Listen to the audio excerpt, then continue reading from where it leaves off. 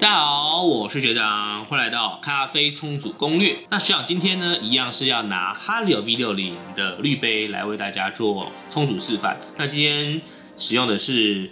呃，树脂滤杯。那大家如果对于树脂滤杯有点疑问的话呢，其实都不用太紧张啦，因为其实像哈利这种大厂，它所有的树脂呢都是经过高温的检验的哈，都会超过一百度，所以在你冲煮过程之中呢，其实不会有环境荷尔蒙或是有其他塑化剂的问题会产生的哈，所以大家可以放心的购买。那塑胶滤杯还有一个很大的好处就是它比较不会摔坏，对它的造价很便宜，所以实际上呢，在各个材质里面呢，塑胶的 CP 值呢还是最高的哈。我们今天就用。这个哈利欧 V 六零的树脂滤杯来搭配一个很简单的手法，这个手法呢容易成功，而且很简单，而且呢目前许多呃比赛选手，甚至于很多的冠军也是在使用这样的手法，这个叫做单点注水法。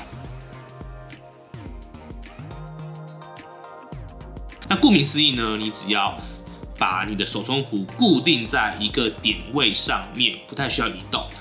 就可以冲出好咖啡，所以它的重点就在于是你要推敲你的研磨度，还有给水 CC 数的关系。所以学学长今天会示范两个不同的参数，所以我们就要来测试两不同参数哪一个比较符合你喜欢的味道，以及不同参数所带来的风味差异喽。好的，那么现在要进行我们的单点注水法的第一次冲煮。那第一次冲煮呢，它的层次呢是比较没有那么显著的，它是喝起来比较圆润。但单点注水法的它的均匀度本来就是很好的哈，所以呢，用这个变速来冲呢，其实可以喝到很温润而且很舒适的咖啡的。首先，我们当然先放滤纸，折好以后呢，放进去以后呢，有凸出来的地方，我们稍微压平倒粉。我们今天的粉呢，使用二十克。那我们使用的是哈利欧的磨豆机，这是使用稍微比较细一点点的研磨度哈，大约是在二十五。那一般如果你是用小富士或者是小富士频道磨豆机的话，可能大约是在四或三点五。那如果你是用鬼尺或是小飞马的话，大约是四点五。水温我们使用九十度。好，我们先做闷蒸。然后闷蒸的水量呢，四十 CC。中间绕三秒，然后往外绕，回中间。好，四十 CC。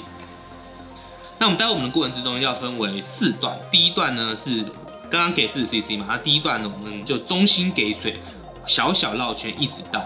一百五 CC OK，好，那不要往太往外面绕的话，我们就以中心五十块大小为主。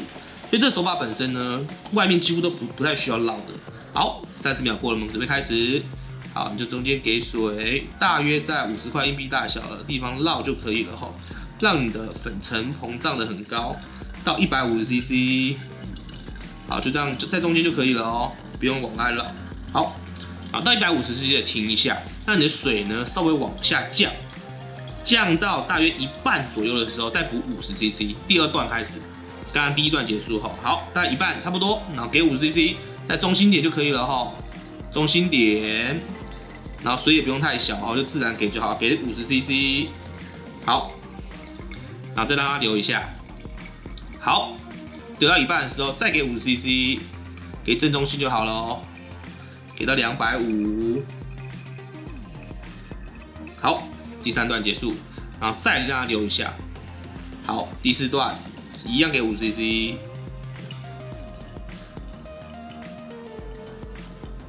到三百 CC，好，这样就结束了，非常的简单哈，所以这个手法本身呢没有太多技巧，那它就主要吃的就是你的研磨度，还有你给水的比例，CC 数的比例哈，我们是给。有四十 CC 以后，然后一百五，然后两百、两百五、三百，这样分四段给水后，OK，那你的粉尘就会呈现这个状况。那这个就是均匀度比较显著的的单点注水法。我们待会要示范第二种，就它层次呢会稍微再显著一点。好，那我们就准备第二次。好的，那我们刚刚实验完了第一次的单点注水法哈，那第二种呢，它的给水次数更少了，但是呢，它的风味表现上面呢，确实是会比较开的。好压好，那咖啡粉的部分呢，一样是二十克。那我刚刚是用的是比较偏细研磨的哦，是用哈利欧磨豆机二十五。那我们现在呢，研磨度稍微恢复正常哦，所以我现在回到我们哈利欧磨豆机二十八。那如果你是用小富士频道的话，大概是四到四点五左右。如果你是用小飞马或是小富士的鬼尺的话呢，大概是四点五到五之间哈。好，就差大概一格左右。那水温呢，我们一样使用九十度。那前半段的闷蒸的部分呢，我们秒数要再增加十五秒。准备开始，一样，中间点给多一点点水，好绕一下，然后呢，外面绕两圈，回中间，好，大概四十 C 左右。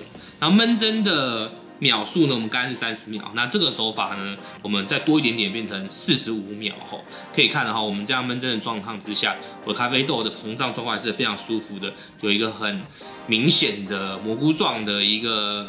膨胀，非常的舒服。然后待会呢，四十五秒之后呢，我们一样是中心点给水，一样是绕五十块大小，让它粉尘的快速的上水。但这一次呢，我们要给直接给到两百 CC，刚刚是一百五，我们现在多五 CC 变成两百 CC 哦，让我们的酸质呢再做更足量一点点哈，才可以让我们的前后层次更显著。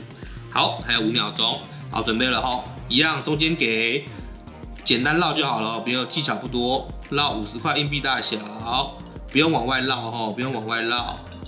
好，绕到两百 CC 为止哈，就大概中间点顺顺绕就好了哦，不用太不用太紧张。好，两百 CC 呢，大概我的水位就会到最高两百 CC。好，然后让它流一下，流大概过一半左右的时候，再给五十 CC。好，可以看到流速非常的快哦。好，差不多这样。好，给五 CC，中间给五 CC，把水位补上来，补到两百五 CC。好，那再稍微流一下哈，流到还有三分之一左右的时候呢，好，再给第三次，不要拉流干哈，不要流干，再给五 CC，让它水位再往上一次，给五十 CC。OK，好，这样就完成了。然后等到全部流完，我们第二种单点注水就是层次比较显著、果酸比较显著、香气比较显著的方式就完成哈。但这两种方式呢，风味会差异蛮大的哦，所以大家可以两种都测测看，然后选择一个你比较喜欢的再做小修正。那我们完成了两次单点注水法哈，那我们来喝喝看，这是第一壶，就是层次呢比较均匀的。那我们来喝第二种。那这个是层次比较显著的。那因为我们焖蒸时间呢，也比第一壶呢多了十五秒。同时间呢，我们第一段给水的水位也多了五 CC。那同时呢，研磨度第二壶也是稍微再粗一点点的。所以第一壶跟第二壶呢，第一壶喝起来整体口感呢会比较厚重，比较浓郁一点；第二壶会比较清淡清爽一点点。